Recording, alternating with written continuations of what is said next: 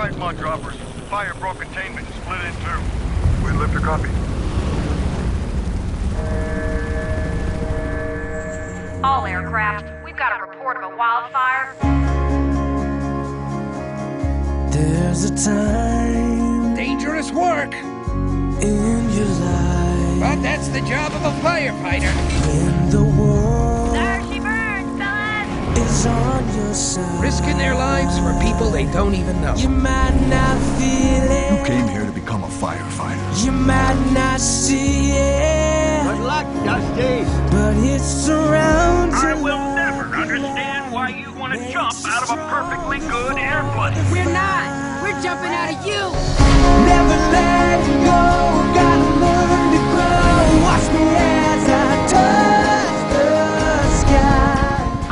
That's what everyone calls me. Okay, Mrs. Miss. Miss. Miss. Yeah.